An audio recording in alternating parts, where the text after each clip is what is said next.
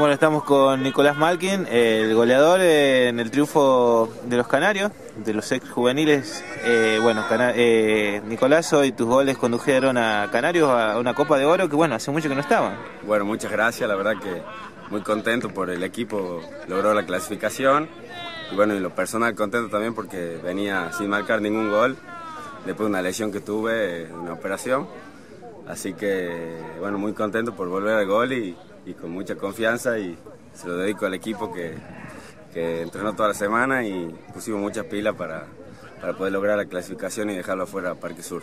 Recuerdo un juvenil allá hace dos años, un año y medio, que, bueno, que, era protagonista de la Copa de Oro, que, hacía buenos partidos, volvieron a, retomar esa mística. Sí, por suerte sí, estamos, estamos con muchas pilas y el equipo va por todo ahora va por todo, vamos a ganar la Copa de Oro. Eh, cuerpo técnico renovado, bueno, se dieron los resultados, eh, supongo que muy conforme más que nada, porque se ve un equipo dentro de la cancha y porque se dan los resultados. Sí, sí, la verdad que los DT muy bien, estamos muy unidos, el equipo muy unido, empezaron hace un mes creo, un mes y algo con nosotros y la verdad que estamos trabajando muy bien y bueno, por sobre todo lo, lo más importante es que el grupo está unido y y somos un equipo fuerte. Bueno, Nicolás, cuatro goles hoy, los primeros del torneo. ¿Para quién van dedicados? Van dedicados para, para Seba Gutiérrez, el arquero de Parque Sur, amigo mío.